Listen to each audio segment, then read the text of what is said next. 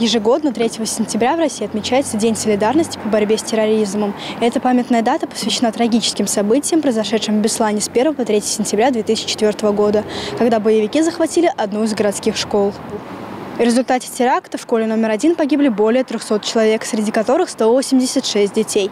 Мы спросили у саровчан, что они помнят о тех событиях и что нужно сделать, чтобы такие ситуации никогда не повторялись. Что вы знаете и помните о этих событиях?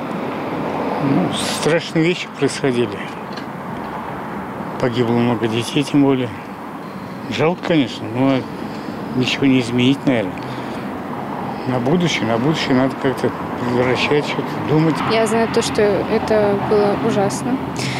И то, что погибло много человек. Я знаю, что это был теракт в школе, какой-то первый. То, что это были террористы, которые еще и до этого делали какие-то террористические акты. До сих пор люди помнят, люди очень э,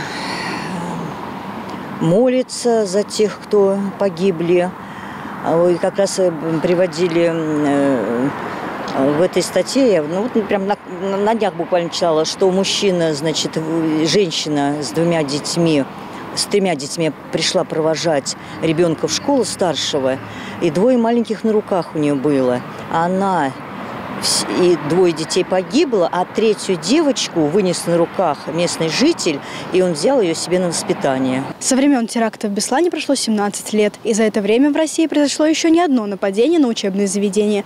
Один из жестоких случаев произошел в мае этого года в Казанской гимназии номер 175, когда бывший ученик вернулся в школу, чтобы устроить расправу над людьми.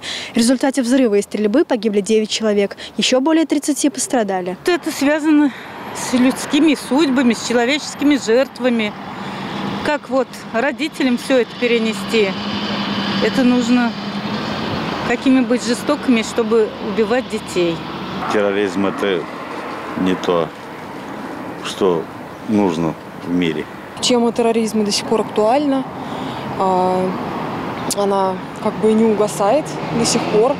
И чтобы, ну, и, и во-первых, как бы боль тех людей, ну, то есть которые, ну, которые и дети, которые выжили, они до сих пор это помнят. Для них, наверное, это важно, чтобы этот день вспоминали, чтобы, ну, возможно, показать какой-то пример, что не стоит так поступать, вот, и чтобы терроризм исчез с лица земли, скажем так, особенно по отношению к детям. Горожане считают, что о таких событиях важно помнить в первую очередь для того, чтобы обезопасить детей и чтобы такие события никогда не повторялись.